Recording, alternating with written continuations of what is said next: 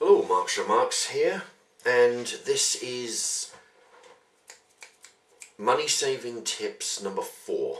Okay, now in video number one, I explained when I was talking about the postcard, I explained that I would uh, give you another use for the box of uh, the cereal box, and that would be if uh, it's more directed towards eBay sellers.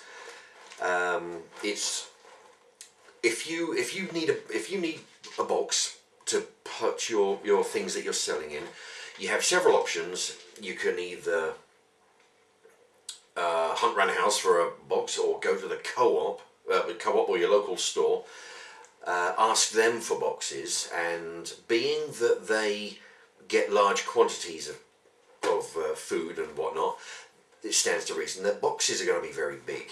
So if you get one of those, you're going to have to cut it down. You're going to have to, as if they'll, as if they have any spare, because normally they'll flatten them down and throw them out the back into a recycling cage. If you do get one, you've got to cut it down. You've got to fit it to size. Um, and the other option is if they actually sell boxes or packaging in some places specifically for eBay sellers. Um, what I say is reuse the boxes that you have. They're free. They're more of a, a usable size. Like this one uh, is, uh, as you can see, is a cornflakes box. It's um, you can put books or uh, if you have clothing that you're selling, uh, fit in there nicely. Okay, uh, you just need to uh, reinforce the sides. Okay, and then you've got um, a moment ago I, I had I did a review on the um, co-op chicken curry. There's another box. You can put uh, a book in there. You can put small items. Uh, very good. Like I say, just reinforce the edges. Um, make sure the make sure the sides are uh, taped down. Put a bit of stuffing in there. Wrap some newspaper inside.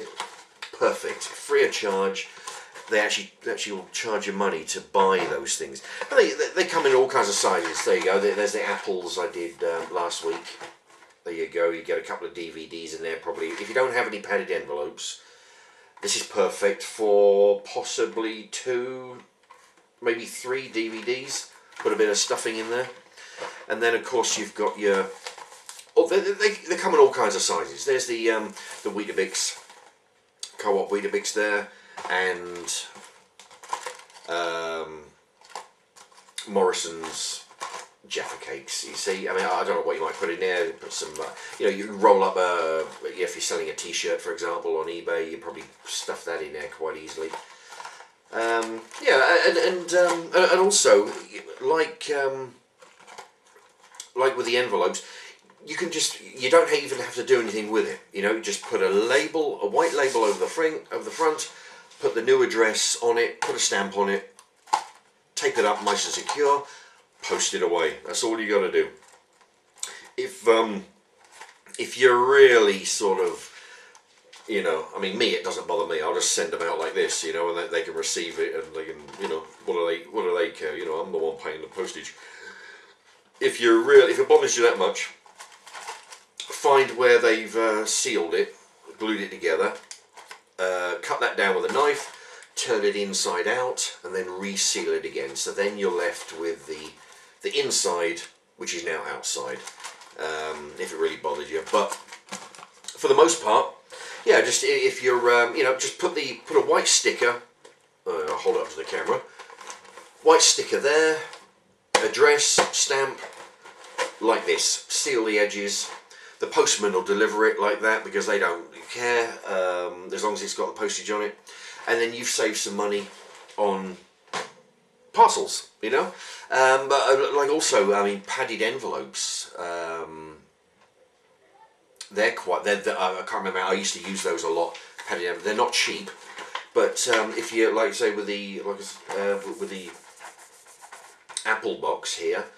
Uh, you get two or three in there, wrap it round in a bit of scrap bubble wrap or a bit of padding uh, save yourself save yourself money there. Just reuse the stuff. It's going to go in the recycling bin. Use it for for good, and um, yeah, you can you can get boxes like this every day. You know, uh, just rather than throw it away, reuse them. Save yourself a, a few few quid along the way. Anyway, that is tip number four. If that's of any use, it may sound a bit crazy, but it actually, I mean, look, you know, I mean, you're the one buying this stuff. You either pay money for a box or you get it for free. Um, if that's any help to you, then please leave a, a thumbs up. And uh, look, look at my other videos. Uh, if you know, it'd be great. There's plenty more uh, food reviews and money ideas, money off saving ideas. Thanks for watching, and um, yeah, thanks very much. Bye bye.